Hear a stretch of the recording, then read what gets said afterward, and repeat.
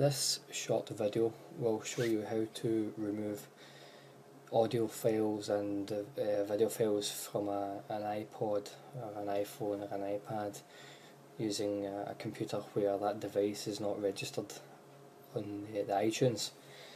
So I've connected a, an iPhone to, to this system and uh, as you can see it comes up with the standard autoplay box.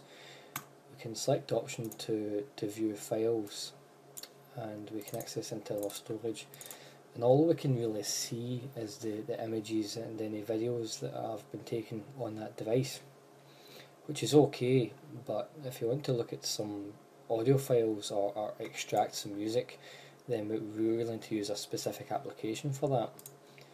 The application we're going to use is called SharePod and you can get it by going to www.getsharepod.com it's a free application, very easy to use, does not require any specific installation or registration.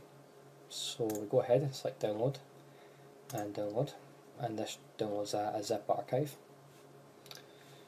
We can then go to our downloads folder, see the SharePod folder, right click and extract.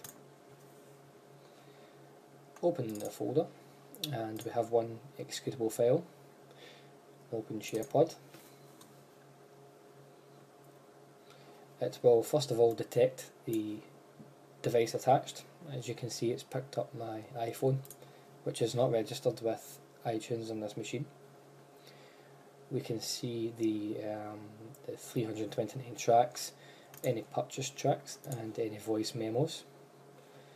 So if I want to extract some audio from this, I can say, okay, I'll extract uh, Billy Joel, River of Dreams.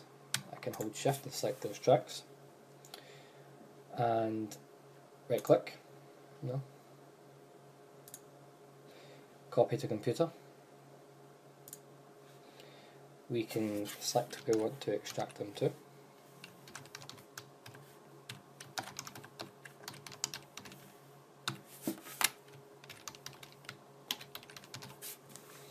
We can automatically import to iTunes, which we won't do. Okay.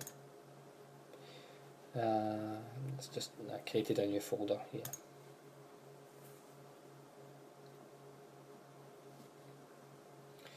And now, if I move this box down, you'll see a job, our dreams, and there's the tracks we've just exported. And that's all there is to it. Thanks.